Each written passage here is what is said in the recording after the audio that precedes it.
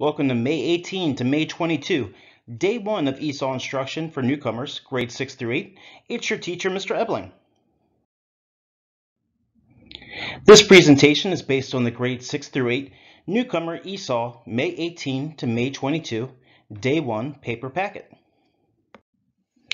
These paper packets can be picked up at meal distribution centers throughout Baltimore. The center closest to Highlandtown Elementary Middle School is John Ruhrah Elementary School. The school address is 701 Rappolla Street, Baltimore, Maryland 21224. The theme for this week is kindness. For this week, you will need a bilingual dictionary, pencil, and a calculator. At the end of this week, you will be able to evaluate numerical expressions, recognize that without parentheses, exponents are evaluated first, Use comparative adjectives to write about the Swiss Family Robinson. Write to describe how to be kind to the earth. Write to describe how animals look from different viewpoints. Respond to written questions using vocabulary words and details from a text. There are many important words to learn for this week.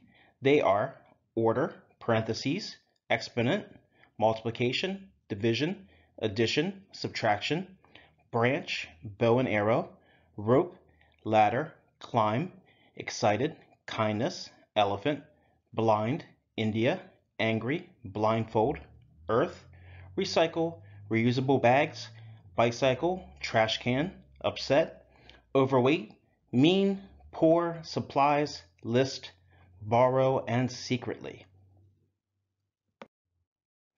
Here is a knowledge organizer with images to get us thinking of what we will learn this week. This week's theme is kindness. Look at the picture. They each show a family of four going to a soccer game.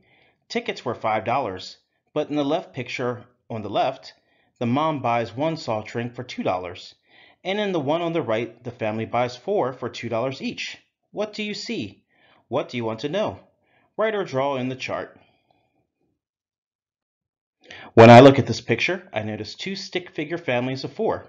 In one picture, there is a soda can over the family, and in the other picture, there are four soda cans. I wonder why this picture is arranged the way it is. Here are seven vocabulary words that we will use in today's lesson. Look at the picture synonym to understand its meaning, then write the word in your language.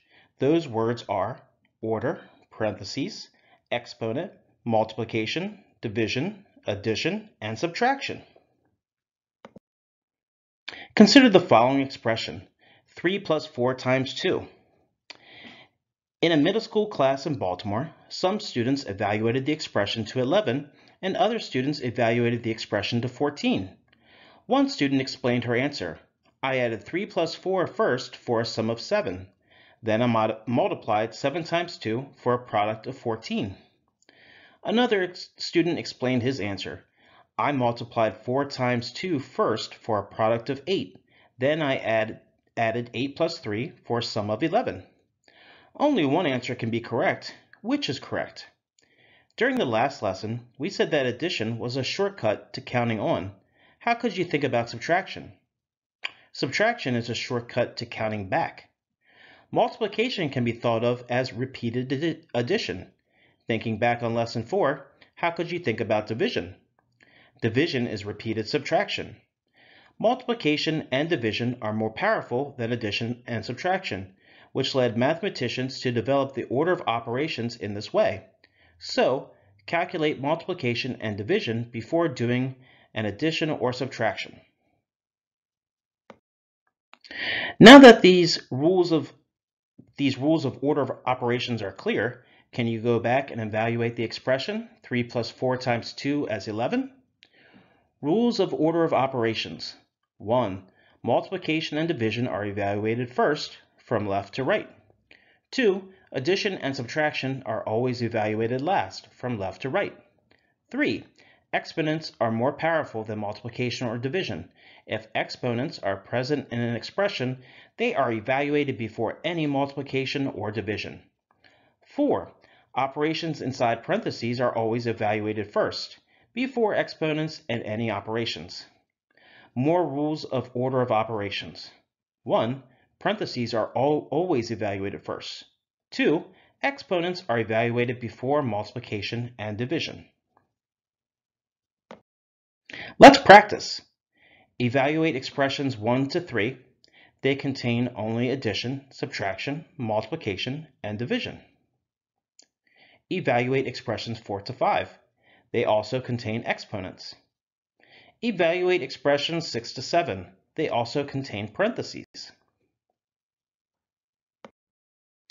Write each expression in words, then speak the expression out loud.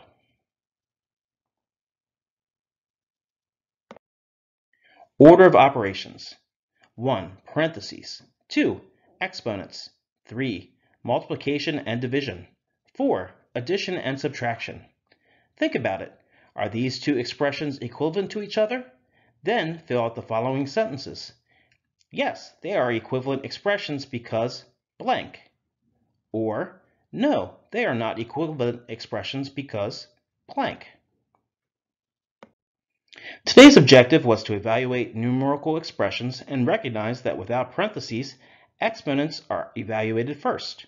Write your answers to the questions below. What is one thing you learned from this lesson? What is one thing you are still curious about?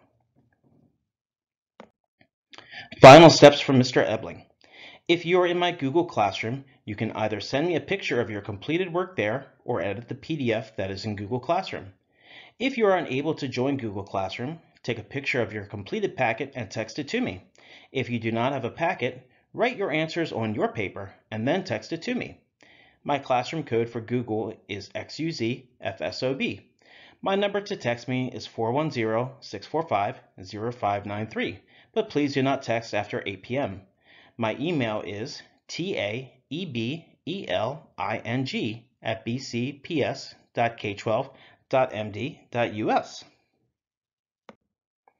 This is the end of this presentation. Please complete as much as the packet as you can if you have one. More presenta presentations will be posted as they are created.